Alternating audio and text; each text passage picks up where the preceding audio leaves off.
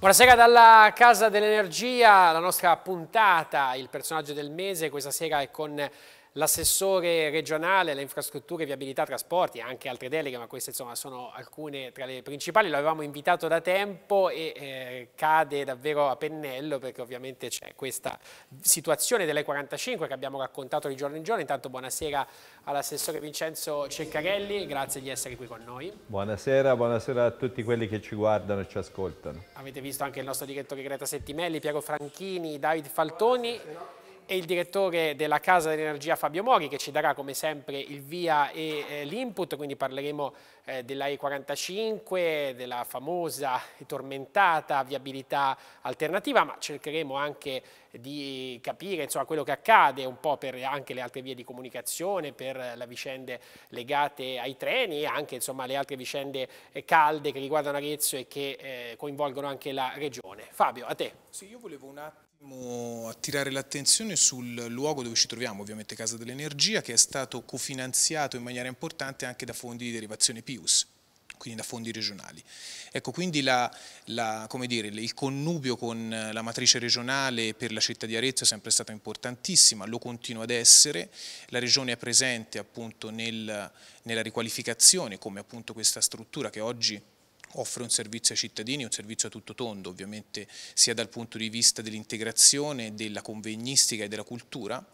E ho visto diciamo, con grande plauso l'interrogazione che è stata fatta al Ministro Toninelli che ha spostato l'attrattiva la, appunto sulla I45, sul viadotto di Puleto e eh, come dire, la parte di connessione secondo me è, è fondamentale e parte per la, vivica, la vivificazione appunto di Arezzo e della città, cioè senza la connessione, senza i trasporti, senza la, la creazione di infrastrutture che servano ai cittadini in maniera capillare, sicuramente eh, non si riesce ad avere quel, quell'importanza che un centro come Arezzo deve avere all'interno della regione appunto anche a livello italiano. Quindi ringrazio la presenza di Vincenzo Ceccarelli questa sera e quindi sentiamo quello che, che ha da dire, che sicuramente saranno cose di centrale importanza. Grazie. Puntata che parte proprio eh, raccontando la situazione della famosa Tiberina Trebis sulla quale poi c'è stata questa, queste importanti indicazioni che sono arrivate proprio dal ministro Toninelli che tra poco l'assessore ci ricorderà. Greta, eh, tu l'hai anche fatta in qualche modo eh, questa viabilità e quindi è un'esperienza che ti rimarrà penso. Ecco, che, che cosa ci dici prima di vedere questo servizio? Posso fare un piccolo, sì. un, volevo chiedere all'assessore cosa ne pensa di, di dire, trovarsi in questo ambiente però in versione televisiva, che ne pensa? Questo è un ambiente che insomma appunto come ricordava Fabio eh, avete anche voi insomma aiutato a, dire, a essere riqualificato, è molto bello, questo vabbè, è una cosa ovvia, cosa ne pensa? Ah, ne penso bene, è un ambiente accogliente, è un ambiente che dire, ha una sua rilevanza, si vede che queste mura raccontano una storia, ma oggi sono al servizio, come veniva detto, della collettività e quindi poter essere qui a raccontare quelle che sono diciamo, le vicende di oggi, eh, pensando a quello che si è svolto qui in termini di lavoro, in termini di produzione, in termini di storia di questa città e poter eh, invece affrontare qui le vicende attuali veramente riempie di soddisfazione, è un ambiente nel quale ci troviamo veramente a proprio agio. Quindi complimenti a chi ha fatto il progetto che poi è stato finanziato con fondi europei a dimostrazione che l'Europa, come dire, ha anche degli aspetti positivi e non soltanto quelli che vengono richiamati in negativo. Infatti il governatore Rossi è venuto per anche per questo no? eh, ad Arezzo. Allora, venendo invece appunto alla 45 è, stata, beh, insomma, è stato un periodo, una settimana impegnativa, eh, questa chiusura ovviamente ha creato delle problematiche, insomma l'assessore lo sa meglio di noi, importanti, ehm, insomma l'attenzione si è spostata non solo ovviamente sul, sulla pericolosità ecco, di questo viadotto che è sequestrato, ma soprattutto sulla viabilità alternativa che in questo tratto praticamente eh, non esiste, cioè ovviamente si deve fare i valichi, però insomma eh, c'è questa vecchia Tiberina 3 bis che eh, già proprio dal giorno della chiusura è, è balzata insomma, agli onori delle cronache quanto la chiusura della I-45. Questo Vediamo. è un po' quello che è successo.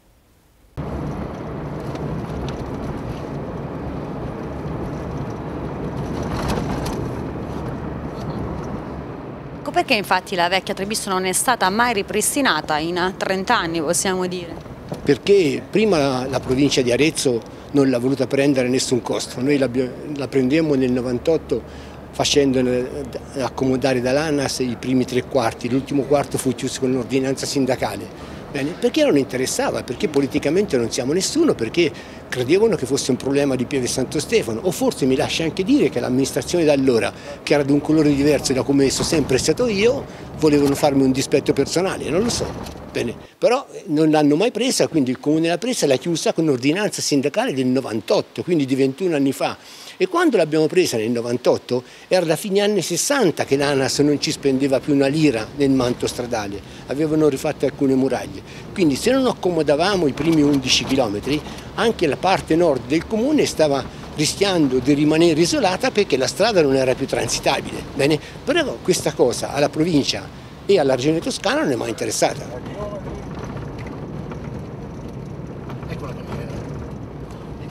Le risulta che comunque qualcuno la stia percorrendo anche spostando massi, cioè gran parte è franata evidentemente. Ma non spostando massi, cioè, la, la, strada con un mezzo leggero è teoricamente percorribile, c'è un punto dove è franata in cui è abbastanza pericolosa.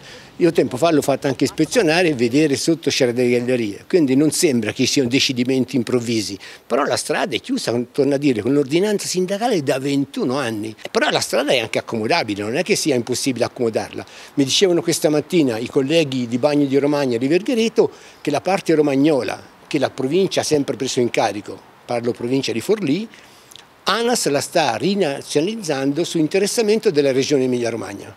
La parte sud della regione toscana, nemmeno si è ricordata che esiste. E poi anche di questo... Il giorno dopo la dopo, chiusura esatto. della 45 E poi se ne è parlato no, dal, in questo tavolo a Roma con il ministro Toninelli, dal quale sono arrivate notizie diciamo, confortanti. Sì, sono arrivate notizie confortanti perché sono state accolte quelle che erano le richieste che io avevo il giorno dopo l'interruzione un po' anticipato al Ministro con una lettera nella quale appunto eh, sottolineavo la preoccupazione per eh, gli effetti di questa interruzione anche di carattere socio-economico oltre che per quanto riguarda le comunicazioni viarie nord-sud del eh, paese. E eh, immediatamente chiedevo al Ministro eh, ad ANAS di poter prendere in considerazione il recupero nel patrimonio e nelle competenze ANAS di questa vecchia Tiberina 3 bis che era la vecchia statale come diceva il sindaco Bragagni, era stata eh, declassificata nel 97-98 e che si prevedesse eh, un intervento immediato per eh, consentire un'alternativa che in quel tratto è l'unica possibile.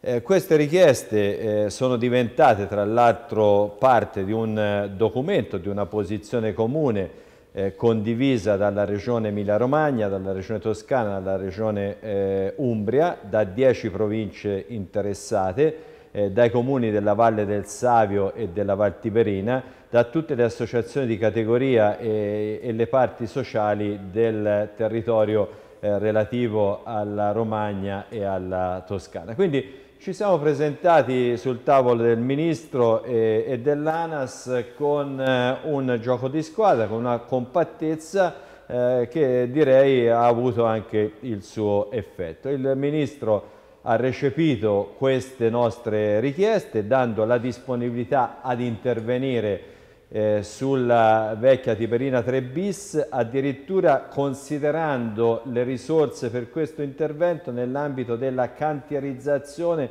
dei lavori che dovranno essere fatti al viadotto del Puleto, che erano già stati progettati e che erano già stati appaltati per la sua riqualificazione eh, antisismica.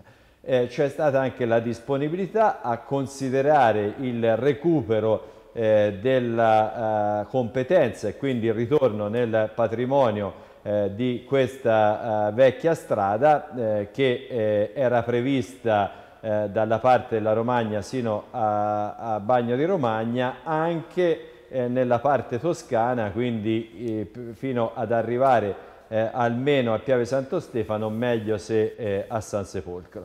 E poi il Ministro ha detto anche che si sarebbe fatto tramite eh, delle richieste di ristoro per i danni socio-economici che questa interruzione sta portando sia alle aziende sia alle famiglie di quei territori interessati che vanno ovviamente da maggiori costi per quanto riguarda i trasporti eh, del materiale, ai maggiori costi per le famiglie dei ragazzi che vanno a scuola e così via. Quindi è stato un incontro positivo, ora ovviamente aspettiamo che eh, questo sia declinato con fatti con eh, fatti Le, le posso chiedere al volo se eh, al di là di quelle che ovviamente è stato il, il giudizio, insomma, il verdetto della magistratura fin qui no, che ha portato al sequestro, perché Anas ha detto no, eh, sostanzialmente non c'era pericolo di crollo, questo insomma sì. ha, ha, detto e ha, e ha, portato con i documenti eh, in procura. Proprio un giudizio personale, secondo lei era da chiudere, era da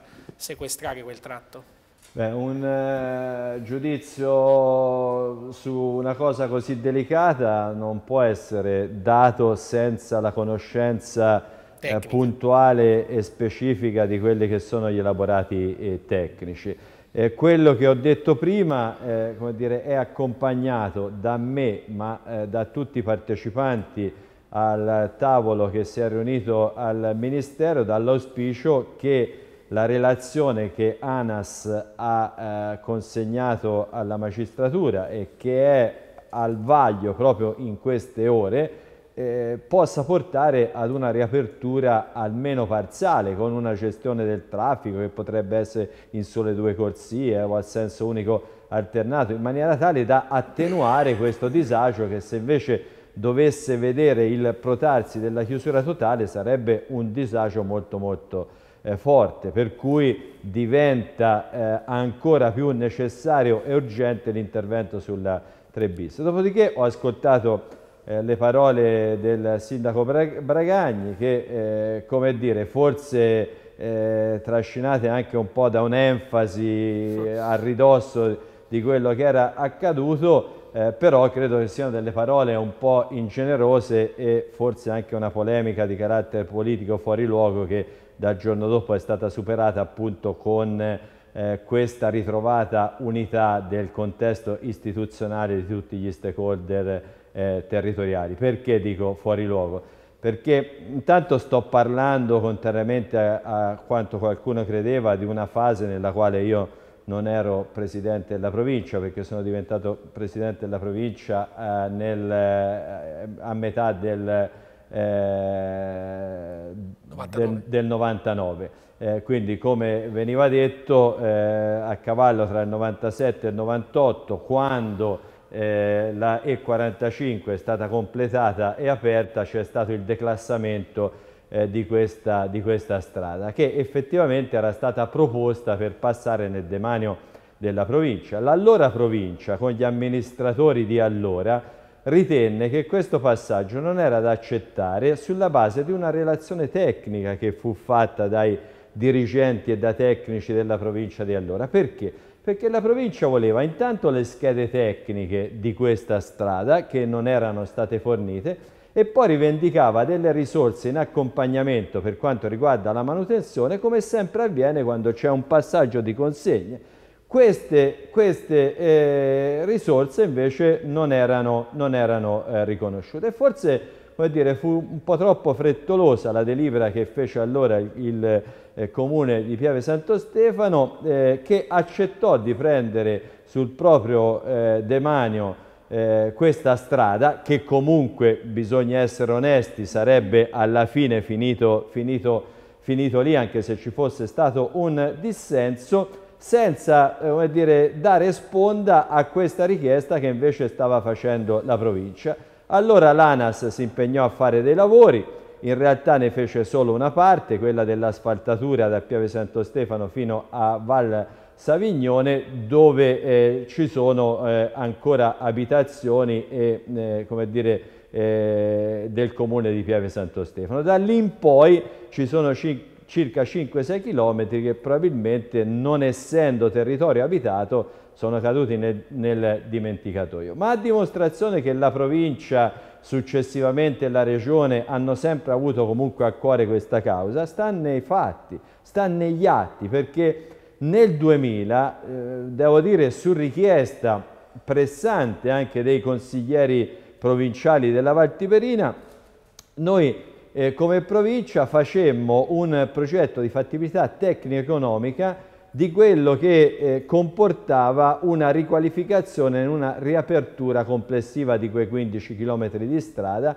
e era una stima di circa eh, 15 miliardi che poi sono stati attualizzati in 15 milioni di euro.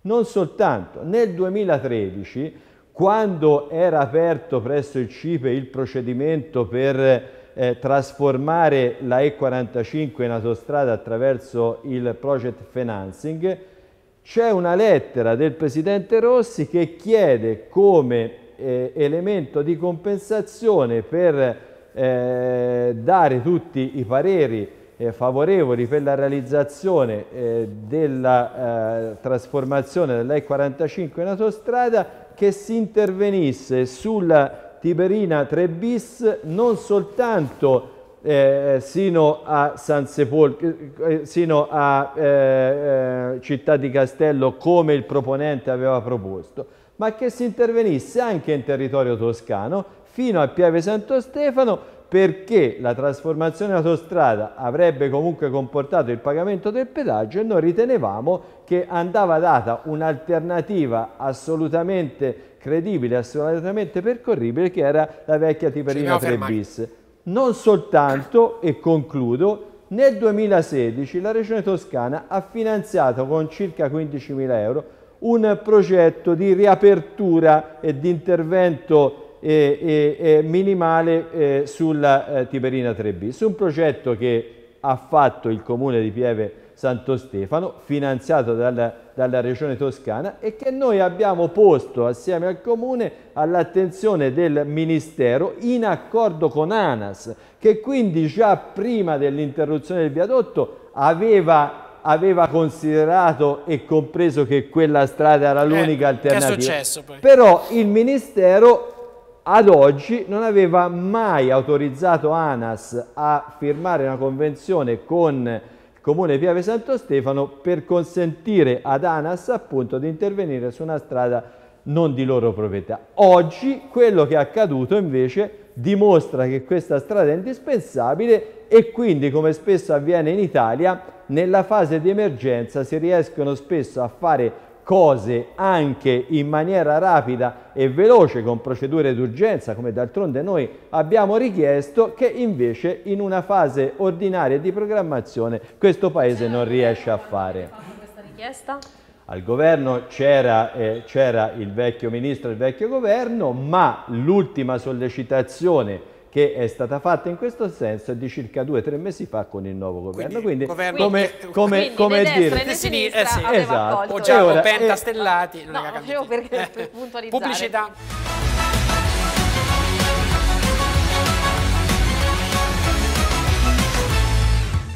Ancora insieme dalla Casa dell'Energia, nero su bianco, con l'assessore regionale Vincenzo Ceccarelli, approfitterei sia con Davide che con Piero di fare soprattutto domande, no? visto la presenza del, dell'assessore, quindi ci può sì, rispondere. Ora, eh, per concludere questo discorso, diciamo così, con Vincenzo vorrei, ci conosciamo da tantissimi anni e quindi vorrei appunto dire due, due battute così, cioè vale a dire che eh, probabilmente qui tanto nessuno ora vuole cercare di andare a fare la caccia alle streghe, no? Però eh, probabilmente delle responsabilità ci sono e quindi ecco eh, perché? Perché eh, queste pastoie burocratiche di cui spesso si parla e di cui spesso per dire eh, eh, vengono proprio a danneggiare ciò che noi abbiamo costruito e fatto di bello perché noi, io specialmente vengo da, dagli anni 70 quando diciamo, c'è stato 60-70 quando ha cominciato ad esserci lo sviluppo e dispiace vedere poi eh, queste cose che a un certo punto eh, diciamo, si trascurano in un modo tale che poi dopo anche per recuperarle ce ne vuole. Ora, lasciando stare la E45, ma a me risulta, risulta che ce ne sono eh, tantissime altre. Mm, mi è sembrato che mm, si parla di circa 300-400 ponti per dire eh, ne, ne, ne, nella regione toscana, chi, chi, abbia più bisogno o, o, o meno, quindi però che siano sotto attenzione. Ecco, quindi perché ecco, si deve arrivare a dei punti in cui poi tocca dare certe volte ragione a quelli che dicono che ci vuole un po' di cambiamento. Allora, ma perché chi era diciamo, alla guida di, di, cioè, di autostrade, alla guida, di, cioè alla guida, io parlo anche di quelli che poi dovevano controllare, dell'ANAS, de, de, de, della provincia, della regione, perché ecco, si deve arrivare a questi punti che poi dopo certe volte purtroppo è come nel ponte Morandi dopo eh, lì diventa irrimediabile, oltre che ai 43 morti poi lì c'è stato dei danni enormi. E quindi quanto è meglio se chi deve fare il proprio lavoro lo fa nel momento giusto e, e fa attenzione a quello che effettivamente, perché io credo che eh, lì non c'era bisogno che, che, il poliziotto in pensione andasse lì sotto e col telefonino facesse vedere che lì stava crollando, oppure, eh, anche se non crollando, però ponte, questi ponti erano deteriorati. Come ho visto che l'ingegner Cardinali per dire parla del ponte Ignazia di San Giovanni Valdare. Eh, Ipazia. Ipazia, ecco. Ignazia, che bel nome. sì, eh, a me Ipazia, mi piaceva. Il ponte mi, Ipazia. Perché Ipazia insomma non mi Ma piace. c'è anche Ponte Presale che se non Appunto. sbaglio è già vietato al traffico pesante, quindi anche quello è un altro ponte attenzionato. Era arrivato un comunicato stampa in settimana di appunto una uh, ricognizione che verrà fatta in tutti i ponti del territorio regionale. Mi pare che in provincia di Arezzo siano una ventina i cosiddetti vorrei, sorvegliati speciali. Ecco, ma, mm, vorrei sentire da, da, appunto da, da, Vincenzo che eh, almeno nelle vostre chiacchierate che fate tra tecnici, tra, se c'è un'intenzione di modificare un po' il sistema, che, perché questo sistema a qualsiasi persona, diciamo che imprenditore privato, imprenditore probabilmente mm, magari non succederebbe perché si sa che eh, dopo gli toccherebbe spendere i soldi di tasche, quindi ecco, io ecco, penso che conoscendo Vincenzo, lui per parecchie cose che ho detto è d'accordo con me, quindi ecco, per dire perché mm, si deve aspettare sempre che mancano i controlli, mancano com'è, che succede? Beh, su molte cose sono d'accordo perché eh, le cose dette sono di assoluto buonsenso, poi dopodiché ognuno ha le sue responsabilità e ne deve rispondere. Però anche se prendiamo in considerazione la E45 che è una infrastruttura purtroppo molto tribolata che è nata nel rispetto di standard che erano i vecchi standard, non c'è per esempio una corsia di emergenza, eh, che è stata costruita forse non con la massima attenzione ai materiali eh, utilizzati per la realizzazione, visto anche le difficoltà di manutenzione che abbiamo sempre, che abbiamo sempre dovuto eh, sopportare da utenti, perché anch'io spesso passo su quella, su quella strada che è di competenza ANAS, però dobbiamo anche dire che la E45 una volta che eh, è stato superato il concetto di trasformazione in autostrada, è stata oggetto eh, di un finanziamento di un miliardo e mezzo messo a disposizione dall'allora ministro Del Rio per la riqualificazione e la messa in sicurezza di quella, di quella eh, superstrada. Prova che è che lo stesso eh, viadotto del Puleto è un viadotto che eh, deve essere oggetto di un intervento di riqualificazione eh, anche antisismica e che quel eh, viadotto, come altri, è stato oggetto di eh, valutazioni, di perizie, per comprendere che tipo di intervento andava fatto. Per cui quando quel viadotto verrà eh, dissequestrato potranno partire i lavori per questa messa in sicurezza. Quindi Lì siamo nella a, faglia a, a, a, dimostra a dimostrazione che forse comunque in ritardo, ma c'era già stata un'analisi per vedere quali sono i lavori che devono essere fatti, devono essere fatti in, quella, in quella strada. Poi, come dicevo prima, il nostro è un paese che spesso si sveglia e riesce a fare cose eclatanti eh, nei momenti di emergenza.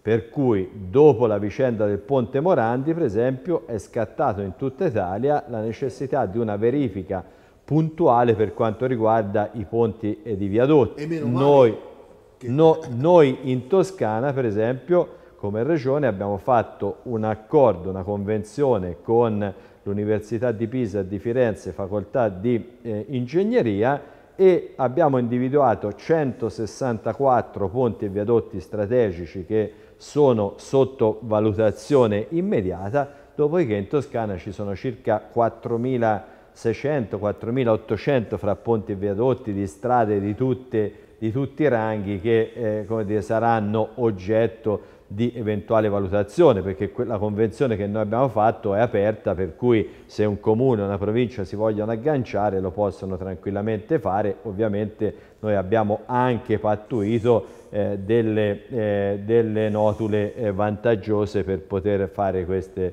verifiche. Ma anche qui sono stati formati dei tecnici che appunto devono andare a fare queste prime valutazioni a vista. Ma anche qui eh, devo dire che non è che fino ad oggi eh, non c'era eh, stata nessuna attenzione. Io parlo per quello che è di competenza nostra. La Regione ha la competenza eh, su eh, circa mille chilometri eh, di strade in Toscana, erano 1460, ora 460 sono state retrocesse all'ANAS. Queste strade sono gestite dalle province. Noi tutti gli anni facciamo con le province, anzi eh, circa due o tre volte all'anno, eh, delle conferenze tecniche e anche di carattere amministrativo e chiediamo alle province di segnalare quali sono le problematiche eventualmente straordinarie di intervento oltre alla manutenzione eh, ordinaria per la quale diamo ogni anno circa 12 milioni di euro per fare le asfaltature e manutenzione ordinaria. Il viadotto del Presale, per esempio, che ora è in fase di ritorno all'ANAS, perché la 258 è una delle strade che, ritorna, che sta ritornando all'ANAS, era stato oggetto ah, di... tutta la Marrecchiese tornerà, sì, tornerà ritornerà in... all'ANAS. Okay. Eh, era stato oggetto di una segnalazione da parte della provincia Arezzo e io avevo portato in giunta la, eh, l'attribuzione di 150.000 euro alla provincia di Arezzo per fare tutte le analisi di approfondimento per comprendere quali, qual è lo stato e quali sono le esigenze di quel, di quel eh, viadotto. Ma questo era avvenuto anche per quanto riguarda alcuni viadotti, alcuni ponti sulla Cassia o, o, oppure eh, ponti che si trovano eh, ne, ne, nel, nella Luniciana. Quindi non è che eh, eh, nessuno fa niente, tutto. sicuramente oddio, ci sono delle gestioni fatte meglio, ci sono sicuramente delle gestioni fatte peggio, però io come eh, ricordo di quando ho fatto Presidente della provincia, per esempio posso dire che quando nel 2001-2002 le strade passavano alle province, eh, lo scatto si vide dal punto di vista della, della gestione. Devo dire che ANAS negli ultimi anni anche da questo punto di vista dell'attenzione, del rapporto con gli enti locali è molto, è molto migliorata. Poi, per carità, eh, la situazione che tu descrivevi è una situazione anche reale, eh, c'è un invecchiamento delle infrastrutture che è fisiologico perché ciò che è stato fatto col cemento armato oramai inizia ad avere 40-50 anni, quindi c'è anche una fisiologia, sono tecniche di costruzione che probabilmente garantiscono una vita meno lunga rispetto alle opere d'arte che vengono fatto, fatto, fatto, oggi. Però ecco Piero, volevo dire, volevo dire senza voler eh, giustificare e scusare nessuno, perché ripeto, è responsabilità, ognuno che ce l'ha se le prenda, la sicurezza e l'incolumità prima di tutto, però spesso o a volte anzi accade anche ad un privato che magari gli crolla il tetto e uno dice porca mia ma perché non l'hanno fatto Eh, eh, perché, sì. non l'hanno- perché non l'hanno fatto prima quindi ecco Eh. non facciamo di tutta l'erba un fascio tu hai ragione alle considerazioni che hai fatto però ecco andiamo a distinguere eh, perché non tutti si sono comportati nello stesso Oh, modo adesso Infatti c'è un cari- chiarito e quindi, è ecco. carico come una molla il nostro Davide Faltoni. Vai. Allora, lei Assessore ha detto che ha incontrato in questi giorni il Ministro Toninelli. Allora, il Ministro Toninelli è famoso nei social per i post sulle gaffe, diciamo, è uno dei soggetti preferiti da Crozza nelle sue trasmissioni. Lei che impressione ha avuto? E soprattutto ci si può fidare di quello che, pro- che Eh, sì, promette? sì, diciamo, diciamo Poi, poi- e poi un'altra, poi un'altra domanda, poi, una- poi un'altra domanda, Eh. poi un'altra domanda. Lei assessore ne- un po' di tempo fa era sempre nei media e nei giornali per le promesse sulla E78, il completamento della Due Mari e quindi tutto il tratto che dovrebbe collegare le ville eh, insomma, attraversare l'Appennino, attraversare l'Umbria. Ecco, di quella non se ne è sentito più parlare, ma non da ora, da molto. E ad esempio in questo momento se ci fosse stata sarebbe stato uno sfogo, eh, a parte l'opportunità per Arezzo, perché Arezzo sta morendo, Assessore, io non lo so se ve ne rendete conto voi in Regione, ma io credo che Arezzo sia una delle città della Toscana che soffre di più e, e mi sembra anche che nelle varie compensazioni che fate tra le varie città Arezzo sia stata sacrificata molto negli ultimi tempi. Quindi le, le ribadisco eh, che progetti ci sono, che programmi ci sono per questa Due Mari perché io non, ho- non le ho sentito più dire nulla oramai penso da due anni minimo. Allora, c'è la pubblicità e poi rispondiamo.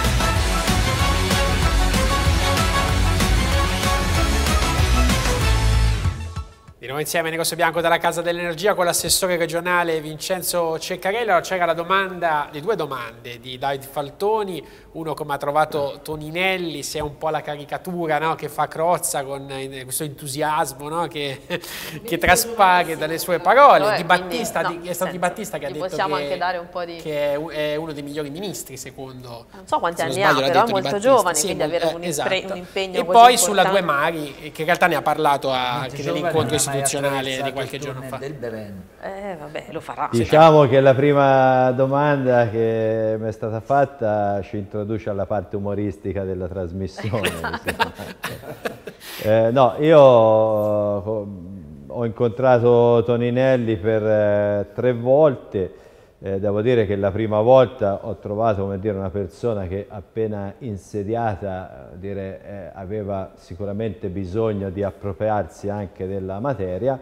Eh, Nell'ultima riunione, quella di tre giorni fa, invece ho trovato un ministro che era a conoscenza del tema eh, che stavamo per affrontare, che coadiuvato dalla parte tecnica eh, di ANAS e del Ministero eh, ha dato anche delle risposte che, ripeto, io aspetto ora la declinazione, ma che eh, come dire, hanno centrato la, la soluzione Fare, della scusi, questione. Quindi, a- alla Due Mari, che è una domanda invece un po' più seria, un piccolo inciso così chiudiamo la parte umoristica, ma questo incontro con Toninelli, chi l'ha portato a casa? Perché in redazione erano arrivati due comunicati, la sua lettera del giorno, mi sembra giorno stesso, giorno dopo, e la lettera della Presidente della provincia Silvia Chiassai. Ora non la voglio mettere in una brutta condizione, però che un po' si appropriava, tra virgolette, del merito di essere stati convocati al Ministero. Ora, ripeto, non la voglio mettere, era un po' anche per, per giocare, però Ma guardi, io ho distribuito la lettera che ho inviato al Ministro e la lettera è stata inviata la mattina successiva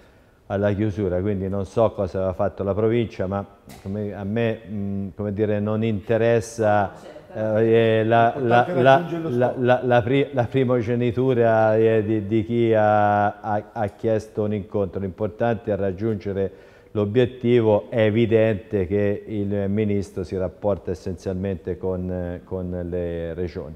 E in questo caso noi abbiamo anche composto una delegazione per avere eh, sia dalla parte eh, emiliano-romagnola sia dalla parte toscana anche una delegazione di sindaci che potessero anche direttamente far sentire la loro, la loro voce e credo che ci siamo riusciti eh, perfettamente in, questo, in, questa occasione. Per quanto riguarda invece eh, la S78, io credo dire, sia eh, sbagliato mh, attribuirmi le promesse, anche perché eh, la E78, così come la E45, è di competenza ANAS, quindi io non potrei fare promesse per conto, per conto terzi.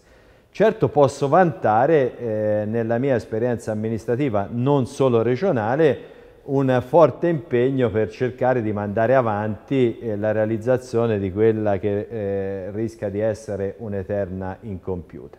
Quando eravamo in provincia, per esempio, eh, noi abbiamo studiato eh, molte, eh, molti tracciati eh, per quanto riguarda il collegamento dalle ville alla connessione con la E45 e uno di quei tracciati per esempio è quello che finalmente è stato scelto per questa connessione evitando la Val Cerfone che era invece la soluzione che a suo tempo voleva la Regione Umbra che sarebbe stata una eh, soluzione molto impattante dal punto di vista eh, ambientale e anche eh, molto, molto più costosa. La stessa cosa eh, l'abbiamo fatta anche per quanto riguarda la parte eh, che va verso eh, la Val di Chiana.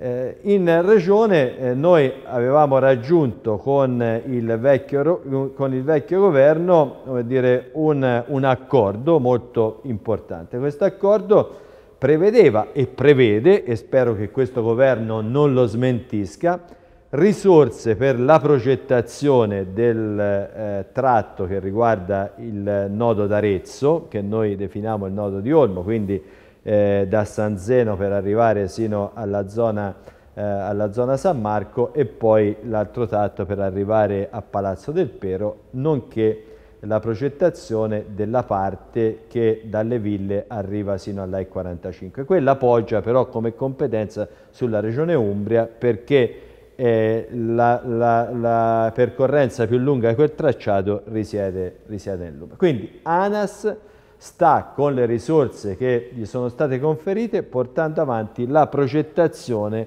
per quanto riguarda il nodo eh, d'Arezzo. Tra l'altro anche lì ci siamo battuti perché eh, non fosse cambiato tracciato, eh, anche quella doveva essere eh, oggetto di una realizzazione che è project financing, quella eh, opportunità non si è rivelata eh, sostenibile dal punto di vista economico. Se ricordiamo Strabag, che era il promotore, aveva previsto di eh, bypassare l'attuale tracciato eh, di San Zeno passando oltre la collina di Agazzi, eh, ANAS voleva, una volta recuperata invece la eh, necessità di portare avanti direttamente senza il project eh, questa operazione, ripercorrere quel tracciato. Anche l'amministrazione comunale di Arezzo eh, non era d'accordo, ma io mi sono battuto perché non si cambiasse tracciato anche per un altro motivo, perché il tracciato che sta progettando ora ANAS sulla eh, strada attuale eh, è un tracciato che nel 2005 ha avuto una valutazione di impatto ambientale favorevole, seppur con tante prescrizioni che è ancora valido. Se fosse stato cambiato tracciato, eh sì, se, se, se, fosse stato cambiato tracciato soltanto per le indagini, la progettazione, la, la valutazione di impatto ambientale, 3, 4, 5 anni sarebbero serviti soltanto per, Senta, per, per, le, pro, mi, per le, procedure. Mio figlio ha 15 anni, la Quando vedrà sta strada realizzata o no? Che di, la percorrerà spero, mai? Io spero di sì, perché eh? una no. delle mie figlie ne ha 17 ecco, e quindi, quindi, spero che assieme ecco. al figlio di 15 possano percorrere. percorrere allora, vediamo... però mi, mi premerebbe, mi premerebbe eh, completare. Allora, eh, nel frattempo la appaltabilità di questa strada con le risorse da attribuire nel prossimo eh, contratto di programma ad ANAS prevedeva il 2020. Quindi da qui al 2020 ANAS farà il progetto esecutivo così come prevede oggi il codice degli appalti e io spero che nel 2020 ci siano le, le risorse per poter fare i lavori. Nel frattempo però è andato avanti il resto del tracciato che era progettato perché tra Siena e Grosseto cioè i lotti sono o completati o in fase di completamento. Sì. Il lotto 4 e il lotto 9 sono finanziati e perché richiamo Siena-Grosseto? Richiamo Siena-Grosseto perché questa arteria ha una sua giustificazione, una sua utilità nel momento in cui sarà completata tutta. Quindi anche quei lavori che vengono fatti lì sono importanti. Sono tanti gli aretini che vanno in Maremma, per esempio, eh, per lavoro, per interessi, tutto, per andare eh. al mare e stanno apprezzando quello che sarà il futuro. Quindi io, più che promettere, sono stato e continuerò ad essere impegnato a sollecitare ANAS, a sollecitare i governi di turno affinché si vada avanti perché questa strada è fondamentale per, anche per la nostra città, per i nostri territori. Città che a mio avviso, non so in cosa si sostanzia questa trascuratezza, magari ce, ce, lo, ce lo dirà, dal punto di vista delle infrastrutture, oltre all'impegno per quanto riguarda la S78, per quanto riguarda la E45, eh, da alcuni anni, compreso adesso, noi stiamo intervenendo anche sulla viabilità regionale. Allora, la, la, 69 è una strada che è stata fatta nuova in Valdarno e ora come regione stiamo completando anche la parte eh, fiorentina. La Umbro Casentinese? La Umbro Casentinese è stata oggetto in passato di alcuni interventi come la variante di Camuscia, una, eh, il, primo, il, primo, straccio, la variante di Pubiena, la variante Calbenzano. Ora abbiamo ottenuto eh, un anno fa eh, circa 150-160 milioni eh, di fondi di sviluppo e coesione, fondi europei che il governo ci ha attribuito e noi abbiamo destinato alla viabilità. Ebbene, di questi 150-160 milioni, oltre 60 milioni vengono investiti nelle infrastrutture della provincia di Arezzo, che si eh, sostanziano nella variante del Corsalone che è in fase di progettazione, nella variante di Calbenzano su Biano Nord, nel secondo stralcio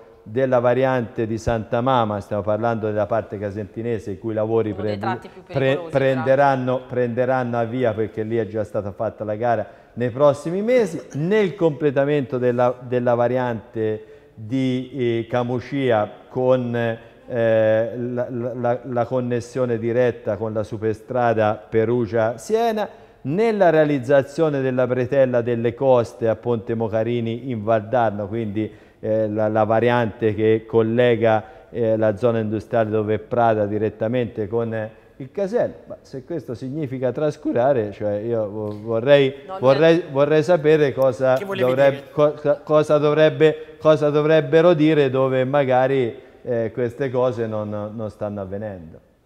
Poi l'assessore regionale, ora la, lascia, no, fa, cioè, lascia, fare che un aretino, anzi un casino. Ma io potrei ma, andare a parlare anche in altre realtà della Toscana. Oggi parlo ovviamente di questo sì, perché no, siamo qui. Io, allora, sicuramente sono scelte anche fatte nel passato, come ad, ad, esempio aver pensato di fare il centro affari ad Arezzo, io credo... Ma su questo parleremo tra Dopo, sì, ma ecco, con i soldi utilizzati per quella struttura ci avremmo benissimo potuto fare un'università ad Arezzo, che è uno eh, dei sogni, credo, e delle opportunità che poteva avere Arezzo, considerata la sua collocazione anche eh, nella ferrovia, ma penso all'idea di concentrare le ASL, concentrare tutti i servizi, fondamentalmente i centri direzionali su Siena, Arezzo, eh, che ci piaccia o che non ci piaccia, mi sembra che sia stata svuotata di tutti questi centri direzionali, quindi considerando la perdita della banca, considerando la chiusura di un, tante aziende, quindi la perdita di tanti posti di lavoro, credo che Arezzo forse bisognava avere un'attenzione diversa, ribadisco, una delle possibilità era quella eh, di con continuare a conservare nel nostro territorio centri direzionali di queste strutture oppure favorire la nascita di una università aretina che invece c'è, ma sappiamo tutti che è una dependance di Siena molto ridotta anche rispetto a qualche anno fa, ma penso anche al discorso della eh, del trasporto ferroviario, Arezzo bene o male è nella direttissima, in un momento di difficoltà come questo Qui non c'ha sicuramente colpa solo la regione ma anche l'amministrazione comunale che non, si, che non, ci venga in mente di aumentare le fermate eh, di treni eh, d'alta velocità, quindi Italo o Freccia Rossa e soprattutto per Roma. Siamo a un tiro di schioppo da Roma, per andare a Roma da Arezzo ci vogliono due ore perché i Frecciarossa sono pochissimi, così come per tornare è una tragedia e io credo che se vogliamo che Arezzo ri, ri, ritrovi un attimo eh, le sue opportunità bisogna che questi servizi glieli date. Non a caso anche quelle poche aziende che ci sono di un certo livello preferiscono avere degli uffici, una sede a Roma vicino all'aeroporto, vicino ad altre cose, che più Arezzo, perché Arezzo sta diventando poco accessibile. Allora, ripartiamo da qui dopo la pausa.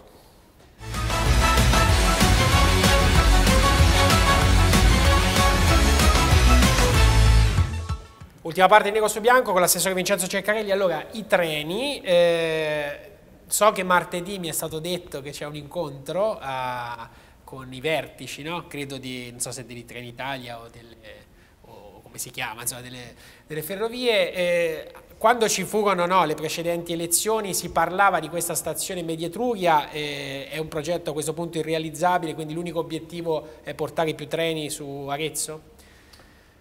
Allora, intanto dire, occorre precisare quelle che sono le competenze, come sono le dinamiche, perché eh, l'avvocato è un buon eh, dire, stimolatore, però cioè bisogna, bisogna, bisogna capire se eh, l'interlocuzione deve essere un'interlocuzione da bar o se poi c'è lo spazio per poter dare anche delle risposte che purtroppo sono articolate. Cioè, dire che ad Arezzo era meglio avere l'università, che si potevano fare tante cose più belle, è come dire un po' una ricetta alla catalano, senso che avere il marito o la moglie più belli, più ricchi e più giovani sarebbe la cosa, la cosa eh, migliore. Poi le cose sono andate in un certo modo perché la storia, le scelte giuste e sbagliate che sono state fatte nei decenni hanno portato, hanno portato fin qui.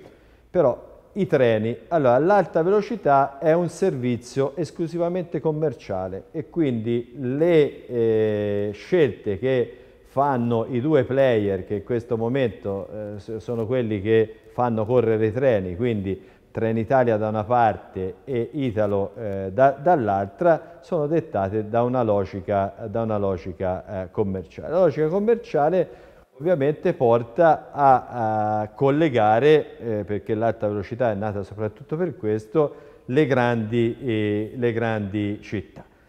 Non per niente ad Arezzo, dove con l'alta velocità la situazione era peggiorata, su questo sono d'accordo, perché fino a che c'erano gli intercity treni veloci prima della direttissima e dell'alta velocità, eh, con i treni ci si metteva meno ad andare a Roma. Quando è venuta fuori l'alta velocità, i treni veloci ad Arezzo erano scomparsi, ce n'era rimasto una. Io vorrei far notare che anche modestamente con il mio impegno cioè questi treni ora sono sei, due verso Milano e quattro che eh, vanno verso Roma.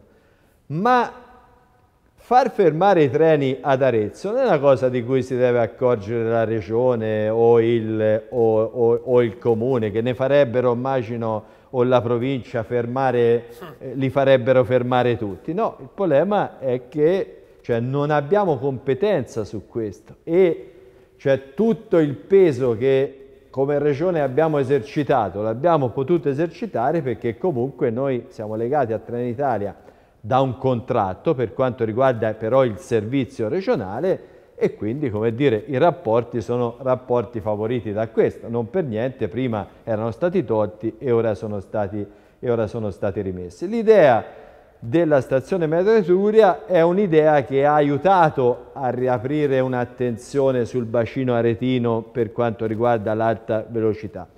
Purtroppo la stazione metro Etruria, dire, è, eh, noi la possiamo chiedere con forza nel momento in cui il cosiddetto bacino di convenienza che vede le città di Siena, di Arezzo e di Perugia fossero d'accordo. Il problema però qual è? Che eh, Perugia e Arezzo eh, possono avere eh, la convenienza ad avere questa stazione, eh, se la si fa, parlo per Arezzo, magari a Rigutino perché lì c'è lo scambio ferro-ferro e, e, e è vicino alla città. Se si comincia ad andare più giù è evidente eh, che comincia a non esserci più eh, convenienza e appetibilità. Siena invece ha esigenze diverse perché la stazione la vede solo per andare a sud verso Roma e quindi salire a nord loro non possono vederla, eh, non possono dire, essere attratti da una realizzazione che viene, cioè dove invece eh, la, vorrebbe, la vorrebbe Arezzo. Quindi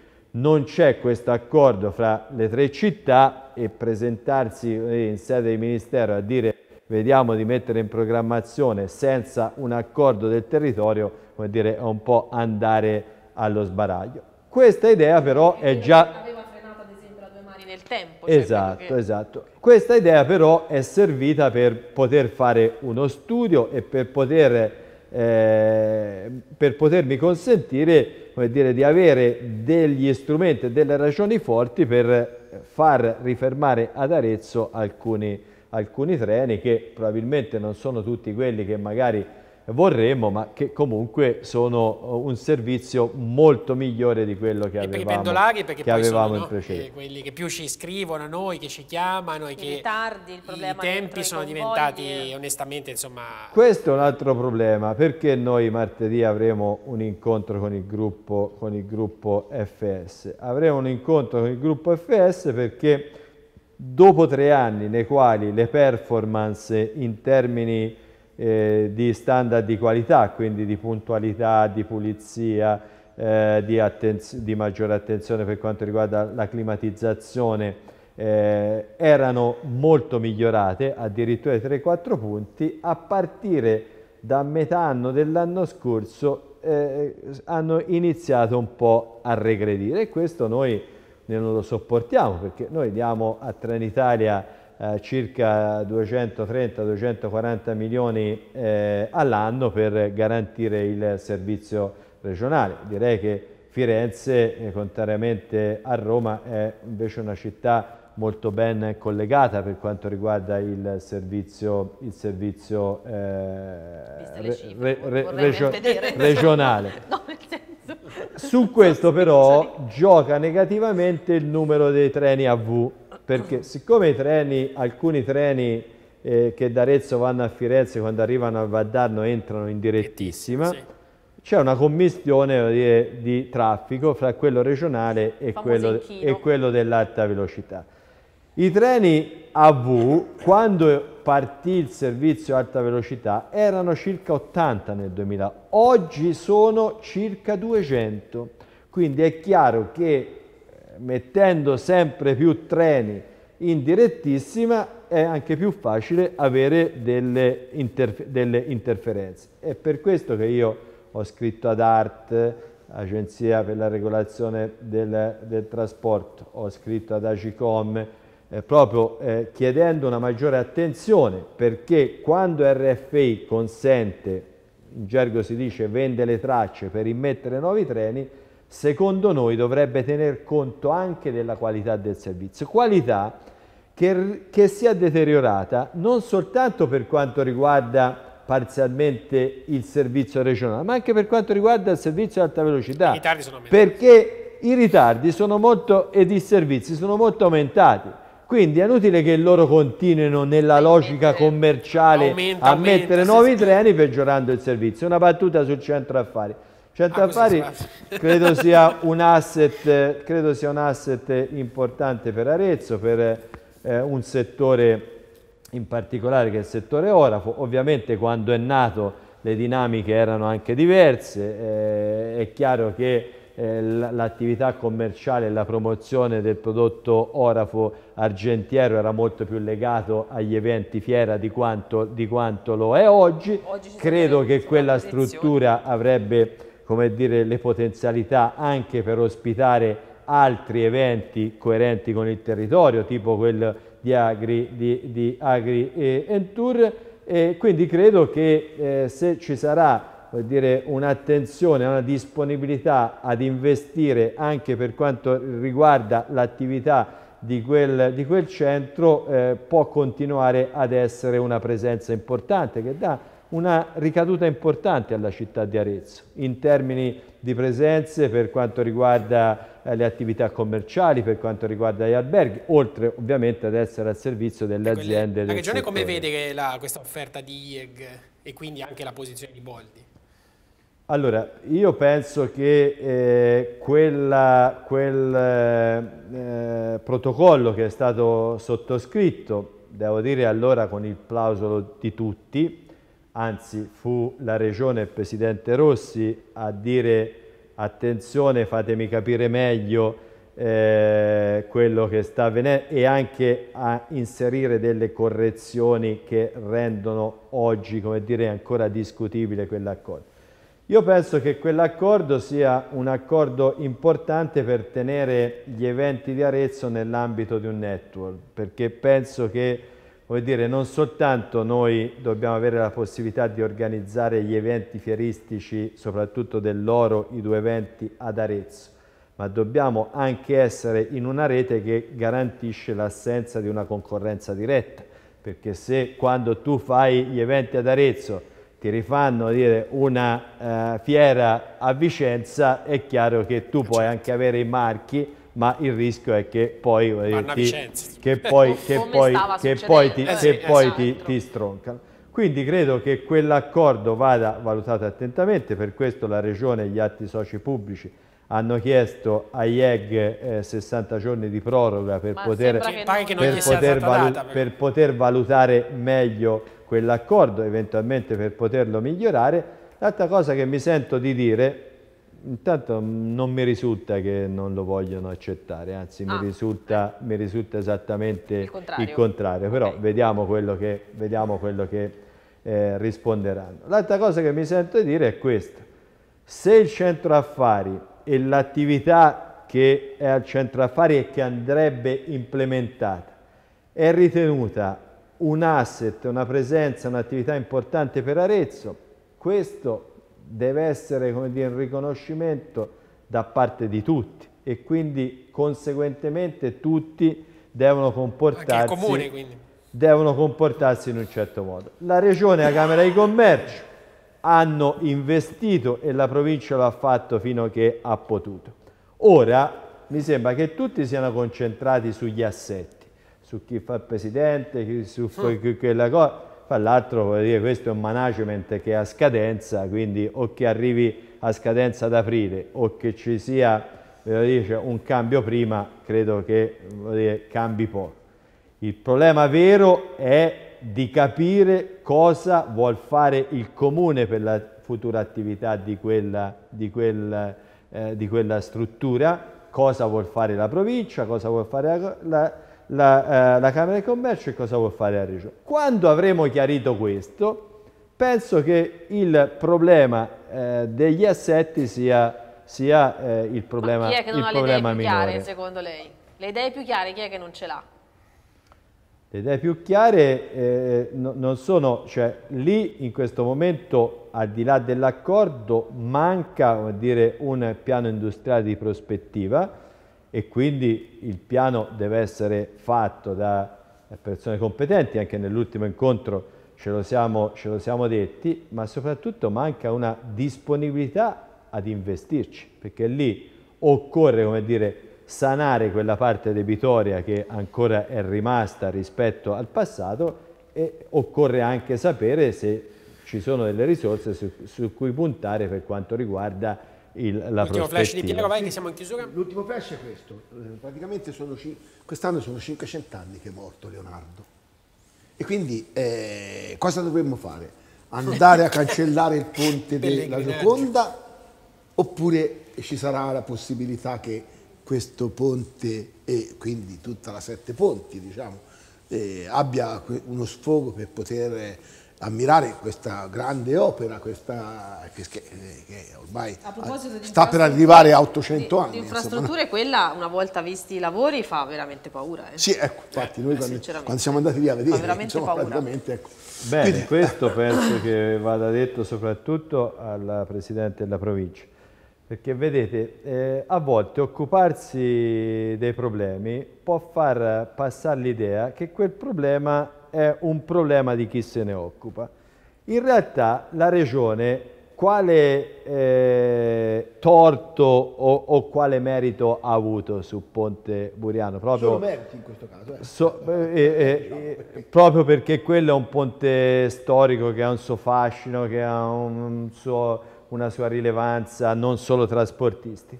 Con una legge speciale ha messo a disposizione 700 mila euro che hanno consentito di fare i primi lavori di intervento per la, il restauro di quel ponte, ma quello non è un ponte che è competenza della regione, quello è un ponte su una strada, eh, su una strada provinciale. Quindi la regione ha fatto questo sforzo, questo sforzo in parte ha consentito di fare dei lavori sui rostri che ancora devono essere completati, in parte ha anche evidenziato perché eh, le, scoperchiando probabilmente eh, si sono accorti dal punto di vista tecnico di quali sono le esigenze e lo stato di quel, di quel ponte.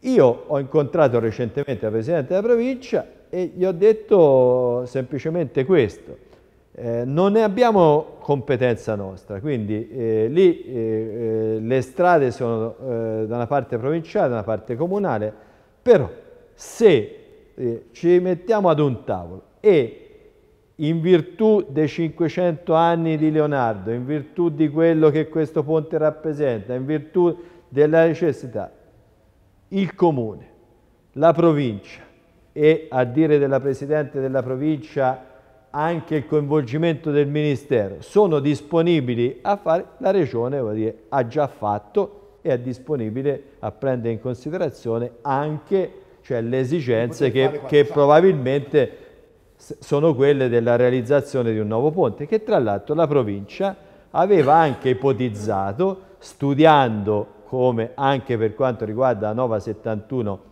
più possibili tracciati per quanto riguarda il tratto tra Giovi e, e, e, e Indicatore e uno di questi tracciati passa più vicino all'Arno, anzi passerebbe più vicino all'Arno, armonizzando il rilevato stradale con le casse di espansione, quindi anche risparmiando suolo, così come è avvenuto, come è avvenuto a Bibbiana, e avrebbe individuato anche il punto dove potrebbe venire un secondo ponte. Però questo, il secondo ponte, che sicuramente è necessario, non può essere un problema che eh, può risolvere la, la, la, la regione. Quindi, pesante, sì.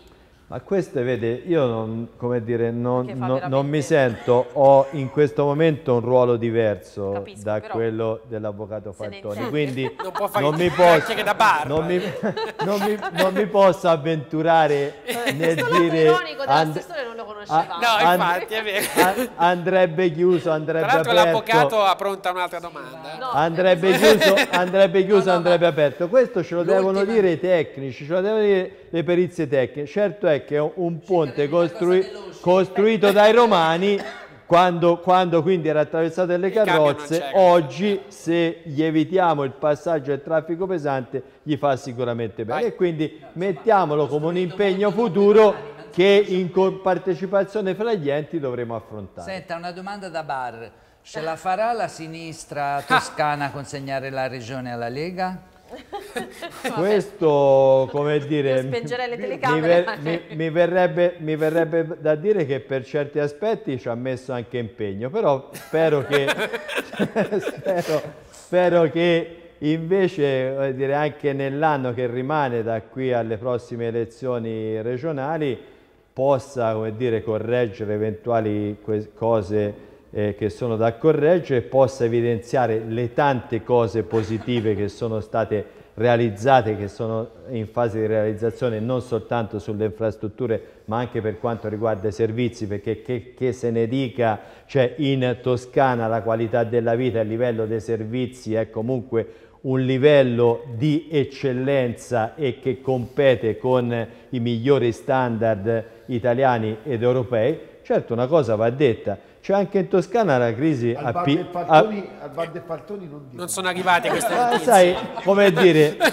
anche in Toscana la crisi ha picchiato duro, anche in Toscana ci sono 53.000 famiglie che sono in una condizione di povertà, anche in Toscana si sono, eh, si sono persi posti di lavoro, anche in Toscana c'è sofferenza, si devono An- an- anche, anche in Toscana. E, e allora, e allora noi non è che ce la possiamo cavare come magari qualcuno eh, ha pensato di fare dicendo che comunque siamo meglio degli altri. Non serve, che la gente quando sta peggio non, non- cioè, guarda, guarda giustamente a se stesso e quindi eh, la sinistra, sono, in questo caso sono d'accordo con Faltoni, deve ritrovare eh, la capacità di stare nei luoghi della, della sofferenza, dove c'è più bisogno, dove si sta peggio, dove si ascolta di più la gente e dove si cerca di dare delle risposte che siano eh, dire, possibili, perché il problema è anche questo. eh, Governare e amministrare significa non soltanto fare propaganda elettorale, significa eh, confrontarsi con le compatibilità che, che- che, eh, le, risorse, le risorse ti danno. E allora io penso che questo noi dobbiamo cercare di fare a livello come dire, di governo regionale e a livello di tanti amministratori, tanti sindaci che tutti i giorni sono come l'artigiano che apre la saracinesca la, la- la mattina, vanno lì, si impegna, lo stiamo facendo. Spero che anche a livello politico, anche con eh, la fase congressuale che stiamo attraversando e con una presa di coscienza eh, delle, delle difficoltà delle persone si possa ricreare un contesto che non consenta, come diceva l'avvocato, in questo caso accolgo il suo, accolgo il suo invito, che non consenta eh, di consegnare una regione che ha tradizioni di civiltà, che ha tradizioni di accoglienza, che ha tradizioni di integrazione a delle forze politiche che in questo momento al governo mi sembra stanno mostrando qualcosa che almeno a me risulta per certi aspetti anche abbastanza inquietante. Una sinistra c'è ancora però.